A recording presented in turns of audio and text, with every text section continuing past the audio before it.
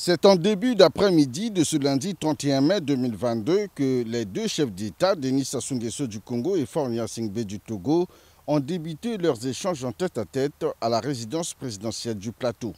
Pour cette visite de travail que le président togolais vient d'effectuer à Brazzaville, Faure Gnassingbé et Denis Sassou Nguesso ont passé en revue les différentes crises sécuritaires en Afrique, notamment l'instabilité politique en Afrique de l'Ouest engendrée par la crise en Libye et la prise de pouvoir par les armes dans certains pays de la CDAO.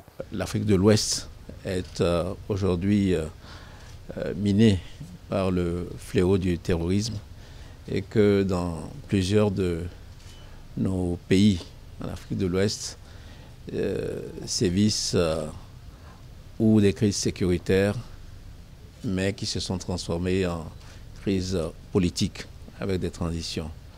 Le président Sassou Nguesso euh, m'a fait part de son inquiétude et de ses préoccupations et a voulu savoir comment les choses évoluaient.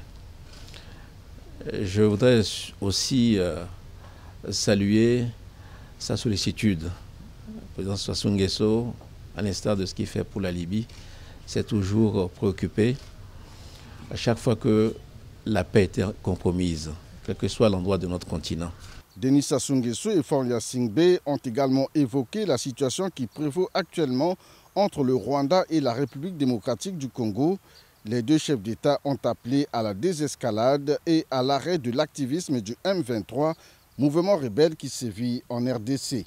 L'insécurité alimentaire en Afrique a été également parmi les points d'orgue du tête-à-tête -tête entre les deux chefs d'État qui ont appelé à la solidarité pour vaincre la famine et freiner le déplacement des populations sur et en dehors du continent. Quant aux situations humanitaires, c'est un peu le corollaire de ces crises-là.